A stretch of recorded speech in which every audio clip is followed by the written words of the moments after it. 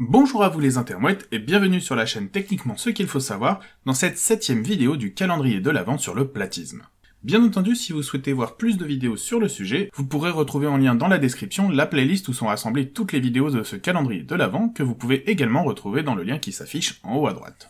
Nous allons dans cet épisode parler d'une preuve physique supplémentaire que la Terre n'est pas plate en utilisant la gravitation. Vous connaissez peut-être la loi de l'attraction gravitationnelle telle qu'elle a été décrite par Newton, expliquant que deux corps s'attirent proportionnellement au produit de leur masse, m1 et m2, et inversement proportionnel au carré de la distance séparant leur centre de gravité, d au carré. Bon, il y a aussi une constante g, nommée constante universelle de gravitation, mais bien qu'elle soit capitale dans les calculs, elle ne nous intéresse pas vraiment, justement parce qu'elle est constante et sera donc toujours là, donc souvenez-vous juste qu'elle existe. Si l'on considère que nous sommes toujours sur Terre, il est alors possible de simplifier les choses en réunissant la constante gravitationnelle, la masse m1 qui correspond alors à la masse de la Terre, et la distance d au qui correspond au rayon de cette dernière, puisque c'est la distance nous séparant de son centre, afin de former une nouvelle constante nommée petit g. Cette dernière correspond à l'accélération de pesanteur générée par la Terre sur tout objet situé à sa surface et vaut environ 9,8 mètres par seconde moins 2.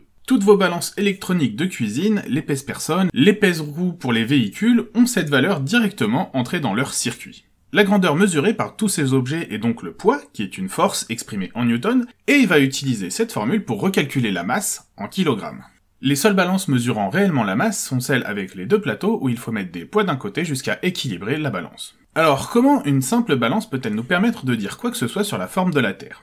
Eh bien justement, nous pouvons réfléchir à partir de cette accélération gravitationnelle. Ce terme d'accélération gravitationnelle n'est pas anodin, car la physique relativiste nous explique que l'attraction gravitationnelle est indiscernable d'une accélération. Seulement, réfléchissons un moment.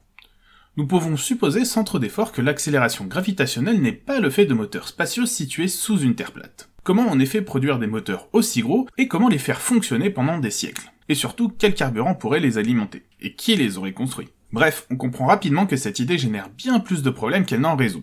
D'après le principe du rasoir d'Occam, ce n'est donc pas une bonne hypothèse de travail. Imaginons alors une autre hypothèse.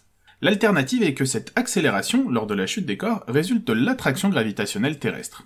Si tel est le cas, alors l'accélération gravitationnelle à la surface de notre bonne vieille planète bleue est liée à sa masse, ainsi qu'à son rayon. Petit problème, il nous faut donc trouver comment mesurer ces deux valeurs. Pour ce qui est de la masse, notre planète a la particularité de posséder un satellite naturel, la Lune. Or, la troisième loi de Kepler, dont j'avais déjà longuement parlé dans un épisode précédent dont le lien s'affiche en haut à droite et que vous pouvez retrouver en description, permet de calculer la masse de tout astre possédant un objet lui tournant autour. Pour rappel, à la base, Kepler avait remarqué que pour toutes les planètes du système solaire, le rapport entre le carré de leur période de révolution autour du Soleil et le cube de leur demi-grand axe était une constante. C'est Newton qui fit le lien entre cette constante des planètes et la masse du Soleil. Grâce à notre Lune, donc, nous avons un moyen précieux permettant de calculer la masse de notre planète, qui est d'environ 6 x 10 puissance 24 kg.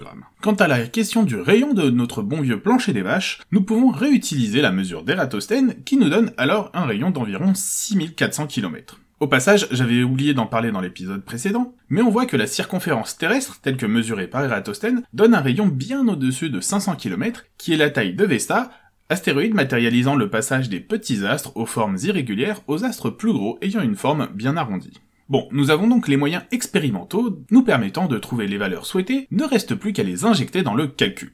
On trouve alors que l'accélération gravitationnelle terrestre devrait être d'environ 9,77 mètres par seconde moins 2. Cette valeur est très proche de celle mesurée à la surface de notre planète de 9,8, l'erreur n'étant que de 0,4%. C'est au final là qu'est la force des modèles scientifiques qui sont en mesure de faire des prédictions qui se vérifient. Mieux encore, les différents domaines de la science se répondent mutuellement, donnant des valeurs semblables d'une discipline à l'autre, formant alors un modèle cohérent du monde qui nous entoure. Mais ça, nous en reparlerons plus longuement dans un prochain épisode portant justement sur les fails à répétition des platistes.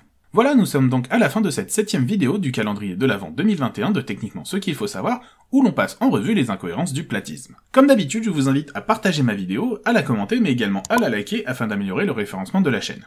Vous avez également la possibilité de me suivre sur les réseaux sociaux, vous serez informé des épisodes à venir, et vous pouvez également me proposer des sujets que vous aimeriez voir traités ici. Bien sûr, si ce n'est pas déjà fait, je vous invite à vous abonner et à cliquer sur la cloche afin d'être informé des nouvelles vidéos et de ne rien rater de l'actualité de la chaîne.